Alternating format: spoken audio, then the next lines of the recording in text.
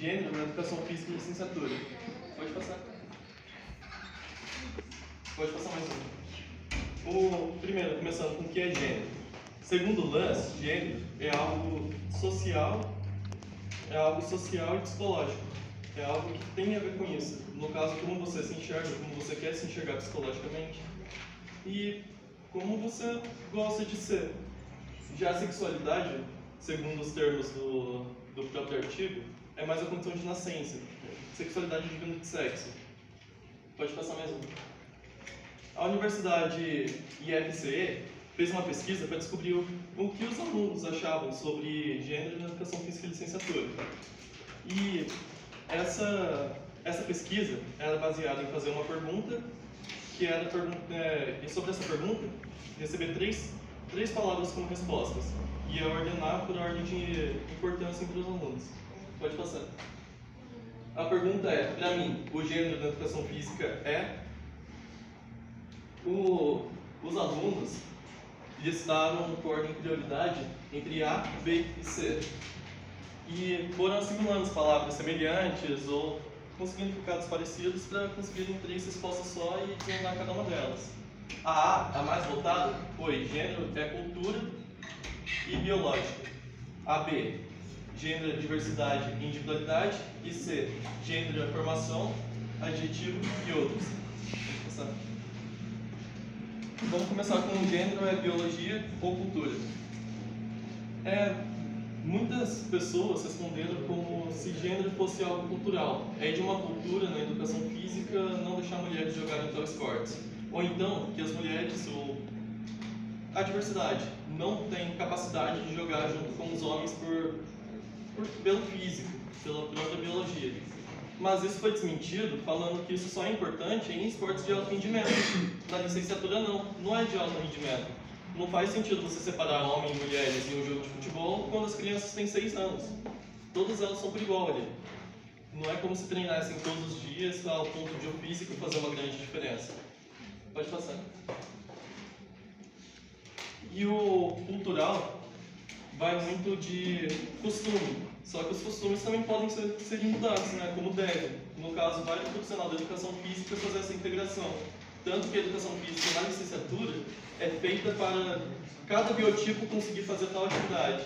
Tem que ser adaptado para isso. Pode passar. Diversidade e individualidade.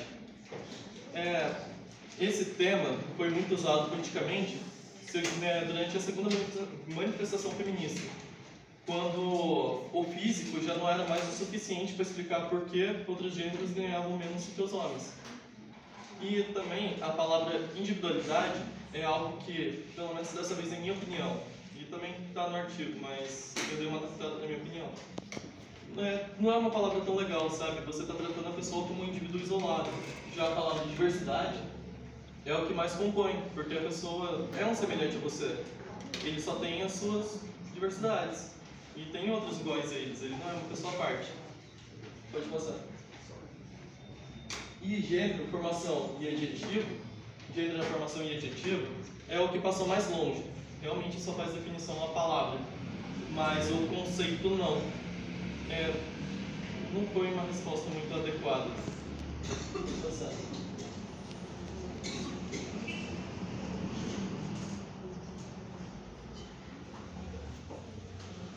Sobre isso de gênero, foi aconselhado, não aconselhado, foi definido que você ser chamado como você gosta, você ser quem você é, você ser tratado como deseja, ajuda muito no social, na saúde física, na saúde mental. Você está feliz com o que você é.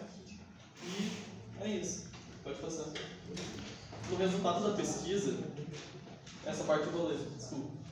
Como observado, vemos que na matriz curricular o tema gênero não é abordado de forma adequada. Identificamos a dificuldade em conceituar o que é gênero, relacionar o termo com a educação física e compreender gênero como uma construção social, visto que a maioria dos pesquisadores ainda associam o gênero com base em determinantes biológicos, confundindo-o com sexo. Por outro lado, parte viu o tema gênero como identidade, por sua vivência fora da, é, fora da academia. Por fim, se faz necessário que o referido curso de licenciatura em Educação Física construa uma matriz curricular que favoreça as discussões sobre gênero, além de um, de um tema trans, transversalizado em algumas disciplinas. A inserção da temática gênero nas disciplinas ou na construção de uma disciplina específica possibilita aos discentes o acesso às ferramentas necessárias à interação pedagógica que relacione, que relacione os conteúdos de ensino e as questões de gênero, contribuindo para, para a superação de práticas sociais que se pautam em estereotipos de preconceito, ainda presentes na sociedade e na escola. É isso.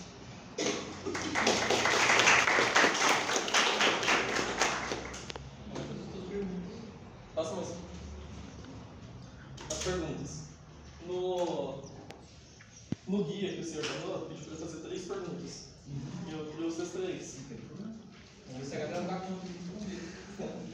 É mais algo pessoal, eu acho que sobre esse tema é melhor ensinar a pensar, sabe?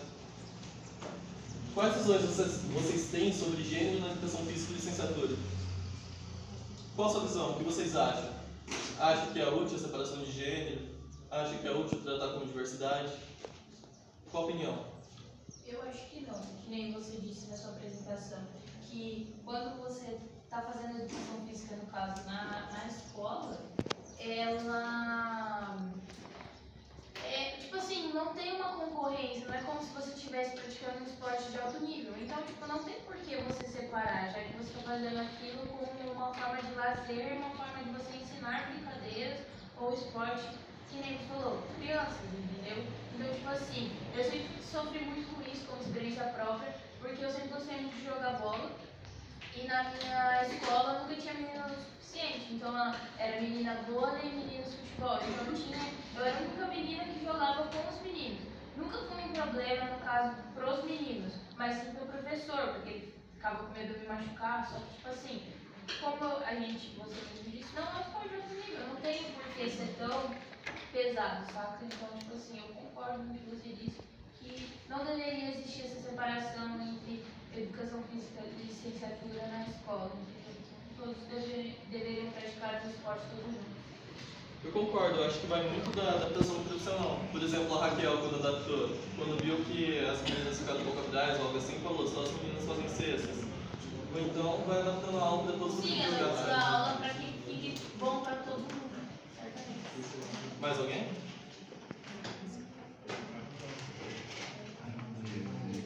Em competições de alto desenvolvimento, diversidade de gêneros devem competir juntas e por quê?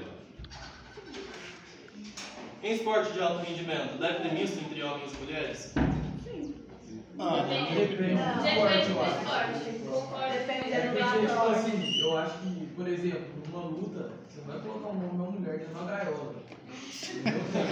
Com certeza. Não é o que tá falando. Tipo, Só uma pergunta. A diferença é de Uma não? Porque tem a diferença de força. Tem mulher que bate pra caramba, mas homem. Mas você não pode colocar uma mulher é, peso pesado com um cara. Exato. Então, mas ele tem peso, é por peso, certo?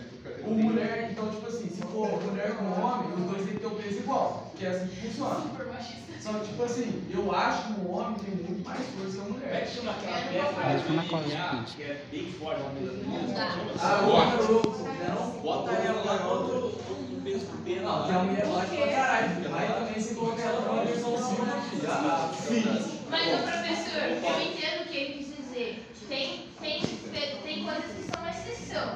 Tipo assim, você pode encontrar é, uma mulher que consegue, é, entre 10 mulheres, uma que consegue ser, se destacar no, no sentido de força. Mas é exceção, não é um padrão, entendeu? Então o padrão das mulheres é ser um pouco é, questão física, de, de força, em questão dos homens, é ser menor. Então, tipo assim, foi o que ele disse. Tem esportes que, na minha opinião, poderiam ser mistos e ficariam muito melhores se fossem mistos. Mas nem todos, entendeu? É, pelo menos é o que eu acho. E o que ficaria, vamos dizer assim, mais justo na questão para todo mundo conseguir competir de uma forma saudável. Só um comentário rápido. É, o que vocês estão vendo nos esportes atuais é decorrente de uma visão que deve ter, sei lá, mais de 100 anos.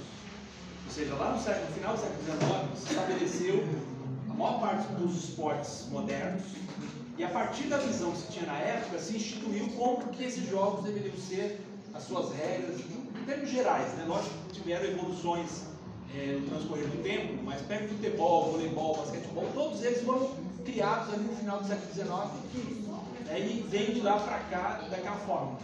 Só que, se nós entendermos que a sociedade não é a mesma, que já houve progresso, já houve evolução em alguns aspectos, será necessário pensar novos esportes ou adaptação aos esportes antigos. E aí acho que essa temática da, do, do, do jogo misto, né, de aprender a lidar é, a força masculina com, sei lá, com a, o jeito, né, a habilidade feminina, coisas do, do tipo, terá que ser é, reconstruído ou de fato construído do zero. Eu diria até mais, com essa, com essa questão da, da diversidade de, de sexualidades, alguém saberia me dizer quantas identidades sexuais existem no momento? E, e onde, aonde localizar essas identidades sexuais nesse quadro amplo né, de, de uma separação entre homens e mulheres? Certo? Tem, né, tem diversas identidades sexuais que não são, é, ou seja, nem todos os homens são iguais, nem todas as mulheres são iguais. Então, essa temática vai precisar ser pensada pela geração do século XXI. Porque se vocês não fizerem, tenderão a ficar escravos do século XIX. Manter, e aí a gente está vendo é, refluxo disso com o discurso da misoginia, o machismo, a violência, entre outras coisas, que são discursos do século XIX que estavam aí nas ruas até esses dias. Se é que se encerraram. Então, ou a gente passa de fato para o século XXI, ou a gente vai ficar amarrado ainda aos séculos anteriores. Mas tem pessoas querendo fazer comentários. Paulo, só, só, só, antes de vocês comentarem, tem uma pergunta que você quer fazer ainda, não tem? Faltou a última, que é exatamente sobre isso. Quais esportes dá para ver integração em alto rendimento de.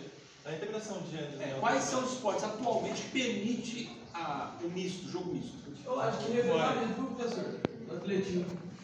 Revezamento de atletismo, revezamento de natação. Não. É, a pergunta é essa: quais são os esportes que oficialmente homens e mulheres participam juntos? Fisiculturismo cai, professor.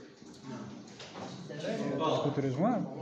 Acredito que, tentando responder as duas perguntas, é, eu tenho exemplo na academia, no projeto social que eu participo.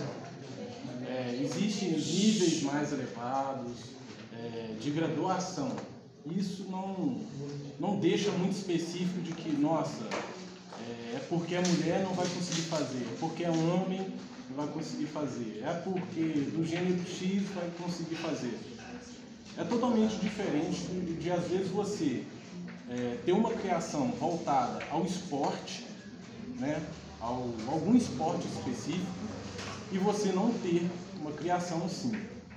O que acontece? É, no jiu-jitsu tem, é, onde eu participo, tem uma faixa preta que eu faço, faço, faço e não consigo pegar ela. E detalhe, o jiu-jitsu a gente trabalha onde que não tem que fazer a força. Uma biomecânica é faça a força no momento que tem que fazer. Então assim, existe a forma da gente treinar com toda a mistura e também nas competições agora é a transição do século 21, porque a gente pode mudar isso, mas ainda é um impasse nessa transição. Eu acredito que a gente tem muita coisa para ser discutida, criar categorias e também intensificar nas mídias sociais tudo que a gente pode fazer colocando respeito ao ser humano, à pessoa, às categorias. É, no fundo é isso, vocês têm uma grande oportunidade na vida, com a pandemia, com tudo, de começar a pensar uma nova concepção de corpo, uma, ou concepções de corpo, né, uma nova educação física pela frente. Mas estou ajudando aqui a teoria, é, nós já extrapolamos o tempo para essa apresentação. E só para responder a pergunta, corridas de aventura na natureza é misto. É, então tem uma série de atividades que já está rolando. Então prestem atenção. Né, no, no, caso dos corridas de aventura, tem que necessariamente ter os componentes, a mulher e o homem juntos. E não pode chegar na equipe um na frente. Ou chega todo mundo, ou a equipe zero. Então acho que vale a pena prestar atenção nisso. Mas, lamentavelmente, eu vou ter que me desculpar com todos e todas, não tem como a gente seguir, porque nós temos ainda três seminários e o tempo está passando. Tá bom, gente? Então, obrigado.